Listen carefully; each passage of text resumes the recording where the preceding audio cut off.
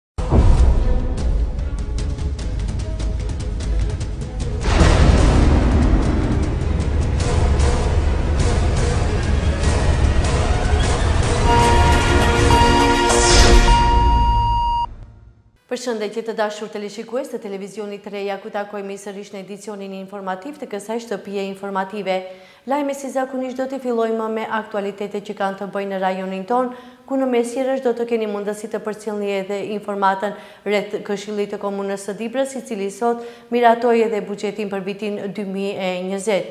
Gjithashtu edhe Këshilli i Komunës Qendër Zhupë miratoi buxhetin për vitin e ardhshëm. Këto dhe lajme të tjera do t'i përcillni në vazhdim. Këshilli i Komunës së Dibrës në seancën e fundit për këtë vit miratoi buxhetin e Komunës Dibër për vitin dy mijë e njëzet. Këshilltarët, pas debatit i dhanë dritë jeshile buxhetit, i cili ka një lartësi prej treqind e tridhjetë e katër presje nëntë milionë denarë. Sipas buxhetit, të ardhurat tatimore kanë lartësi prej pesëdhjetë e dy presje pesë milionë denarë, të ardhurat jotatimore nëntëmbëdhjetë milionë denarë, të ardhurat kapitale dymbëdhjetë milionë denarë,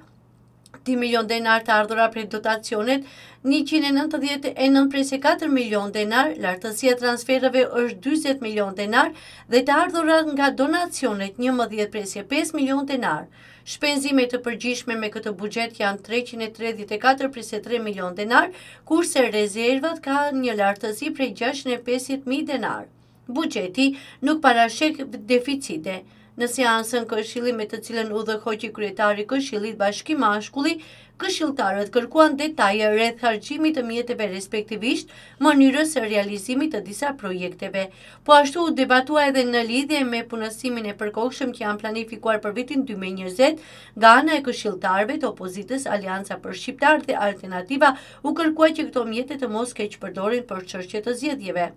Këshilli po ashtu solli vendim për realizimin e buxhetit për vitin 2020 dhe vendim për caktimin e vlerës së pikës së përllogaritjes së rrogave të nëpunësve shtetërorë për vitin 2020 për komunën Dibër. Në seancë mori dritë jeshile dhe raporti vjetor për realizimin e programit për ndërtim, rindërtim, mirëmbajtje dhe mbrojtjen e rrugëve komunale dhe rrugicave në komunën e Dibrës për vitin 2019. Në lidhje me këtë raport u theksua se janë realizuar aktivitete që ishin paraparë me programin dhe njëkohësisht është angazhuar edhe kompani për pastrimin e borës për sezonin dimëror. Në seansën solemne të Këshillit të Komunës Dibër sot u ndanë edhe nga ana e kryetarit të komunës Hekuran Duka, mirënjohje qytetar nderi për historiantët Moisi Murra dhe Fatos Daci, të dy nga qyteti i Peshkopisë, Republika e Shqipërisë. Kryetari i komunës Hekuran Duka theksoi se shpallja e të dy historiantëve për qytetar nderi të Dibrës u soll nga ana e Këshillit të Komunës gjatë muajit qershor të këtij viti. Bëhet fjalë për dy historiantë të cilët kanë dhënë një kontribut të madh në historinë dhe trojat shqiptare dhe personalitetet dibrane në të kaluarën. Duka tha se ata meritojnë të jenë qytetarë nderi të Dibrës, meqë në mënyrë shkencore prezantojnë historinë të trevave dibrane dhe personaliteteve nga kjo trevë me domethënie më të gjerë. Edhe kryetari i Këshillit Bashkim Mashkulli thekson se kontributi i dy historiantëve ka përmasa të gjerë jo vetëm dibrane, por edhe mbarë shqiptare. Mashkulli shtoi se gjatë sistemit komunist këtu tek ne, ato që ishin në pushtet mundoheshin që të fshehin domethënie historike të Dibrës, por që historianët shqiptarë treguan se kush është Dibra dhe roli i Dibrës gjatë historisë. Mirënjohjen qytetar nderi të Moisi Murrës tani më të ndjerë e pranuan fëmijët e tij. Ata theksuan se falimnderojnë Dibrën e madhe për shpalljen qytetar nderi të babait të tyre, historianit të njohur Moisi Murra. Duke pranuar mirënjohjen qytetar nderi të Dibrës, Fatos Daci tha se ndjehet krenar për këtë mirënjohje.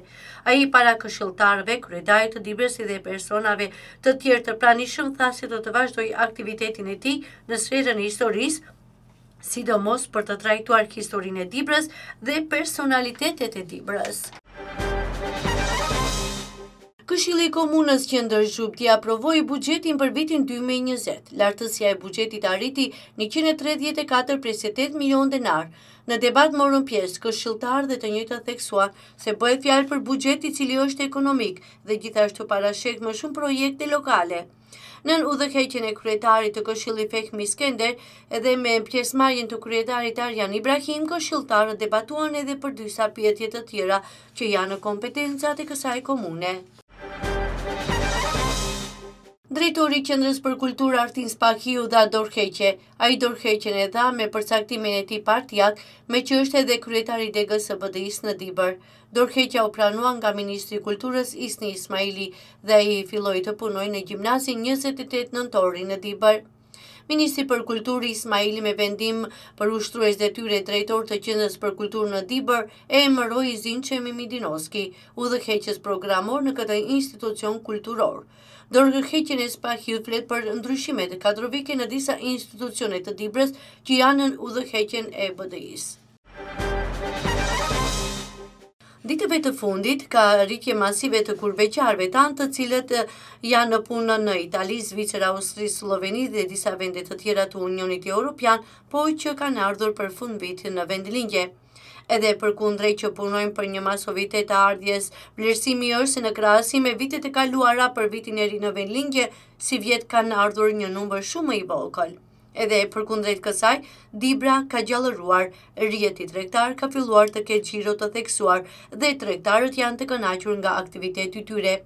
Duke marrë parasysh se një pjesë e kurbetçarëve kanë arritur me automjetet e tyre, rrugët e qytetit janë të ngushta për t'i pranuar të gjithë automjetet e veçmas në rrugën qendrore të qytetit. Në prag të vitit të ri, shumë objekte janë siguruar muzikë për pritjen e vitit të ri 2020. Në komunën e Dibrës e veçmas në qytet, veçme kanë filluar takimet e vitit të ri që organizojnë shoqata qytetare, por edhe më shumë institucione. Në takimet faktikisht vjen në shprehje dëshira për një vit më të mbarë, më të mirë, por edhe dëshira për standard më të mirë dhe shëndet. Më së paku pesë shoqata joqeveritare deri ditën e hënë do të realizojnë takimet në prag të vitit të ri së bashku me anëtarët e organizatave të tyre. Gjithashtu edhe në shkollat janë drejt përfundimit me kompletimin e paketave të vitit të ri që duhet t'u dhurojnë nxënësve të shkollave.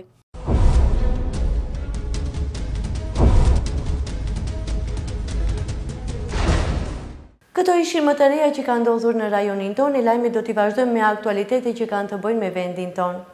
Derisa kryeministri Zoran Zaev nuk jep dorëheqje dhe nuk formon qeveri teknike, zgjedhjet mund të anulohen, tha kryetari i Kuvendit Talat Xhaferi në takimin e djeshëm joformal me gazetarët, duke shtuar se marrëveshja e Përzhinos parashikon që njëqind ditë para zgjedhjeve të formohet qeveri teknike. Ndërkaq, zgjedhjet nuk mund të anulohen pasi që qeveria e re të votohet në Kuvend, njofton portal.mk.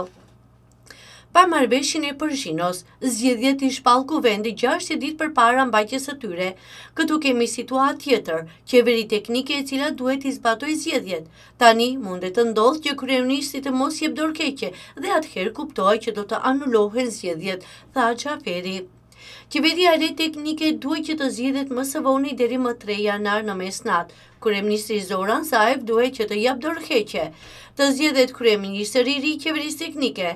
VMRO-DPMNE-ja opozitare do të udhëheqë me ministrinë e Punëve të Brendshme dhe me ministrinë e Punëve të Politikës Sociale, por edhe me zëvendësministra të Financave, Bujqësisë dhe Shoqërisë Informatike dhe Administratës.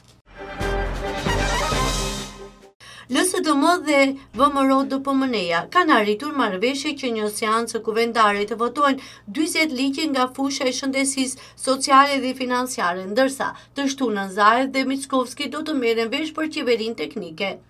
Nëse partia opozitare mbështet këto ligje, LSDM-ja nesër do të vendosë nëse Oliver Spasovski ose dikush tjetër do të jetë pjesë e qeverisë teknike nga 3 janari.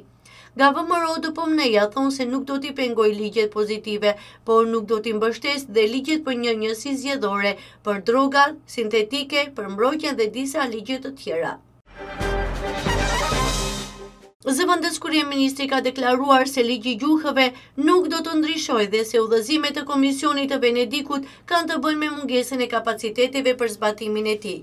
Sipas tij, rishikimi i këtij ligji rrezikon procese të tjera të rëndësishme në vend, duke shtuar se do të vazhdohet me punë për ngritjen e kapaciteteve të nevojshme institucionale për zbatimin e ligjit në fjalë. Ai është ndaluar edhe te kriza në kuvend, duke deklaruar se është herët të flitet për pozicionin ekstrem sepse ende nuk është faza e bashkërënditjes ndërmjet partive politike. Duke komentuar deklaratën e kryeministrit Zaev për dorëheqjen nëse frekohet ligji i rëndësishëm për qytetarët, Osmani tha se është optimist se do të tejkalohen dallimet te Kuvendi. Ai shtoi se ka një bashkërëndim se si të tejkalohet situata e tanishme në Kuvend për miratimin e ligjeve duke u shprehur se beson që do të arrijnë që me sukses të mbyllet këtë vit. Osmani beson se do të ecet tutje drejt zgjedhjeve të parakohshme të prillit të ardhshëm. Shikues të respektuar, kjo ishte e tëra që kishim përgatitur për këtë edicion informativ. Ju falemnderoj për vëmendjen, ju uroj shikim të këndshëm, bashkë mirupafshim!